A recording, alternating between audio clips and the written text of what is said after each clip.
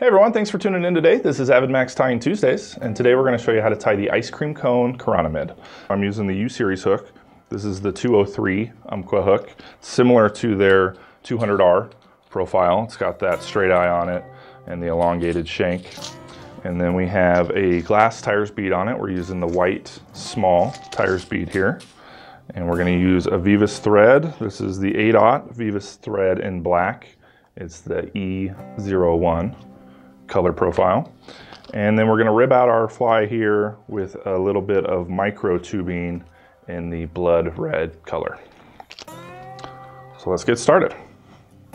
All right, so we got our U203 hook here in the vise. This is a 3X long hook. It's a curved hook with a straight eye. Gives a great profile. And then we have our small Tyers glass bead on there.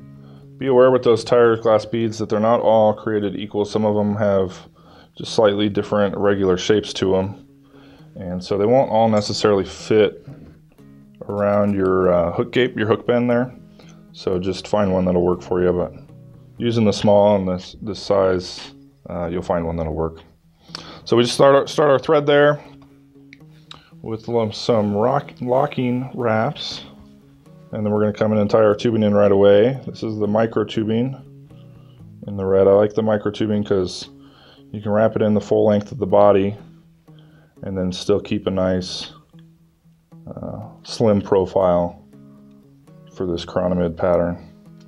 So we'll, we'll pull it tight as we kind of wrap it back here. All the way to the back uh, toward the hook bend.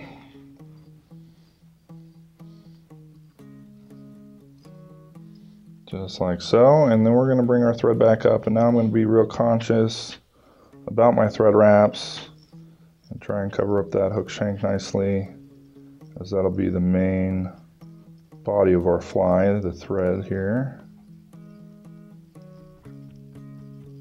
So right on up to the front and then we can half hitch and we'll throw our thread over on our bobbin cradle here to get ready to rib our fly.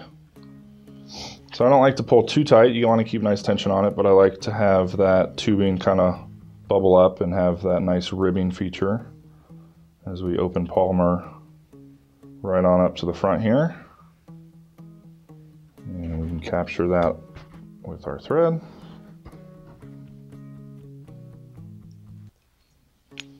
This is a great still water pattern in the larger sizes here.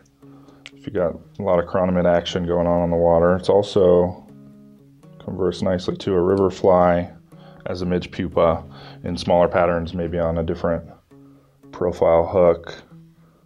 Uh, you can play around with it a little bit, do it in different colors. It's popular in this black with red ribbing. You can do it opposite, red with uh, black ribbing, and some different color variations there. Whip finished, just built up a nice little transition thorax there to our bead. Clip off our excess here. And that's all there is to your chironomid mid pupa. Just gonna finish it off with a little bit of Zap-A-Gap here to make it nice and durable. There you have it.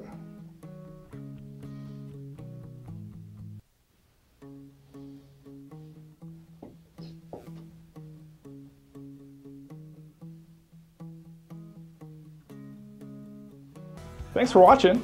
Be sure to give us a thumbs up and share this video with your friends.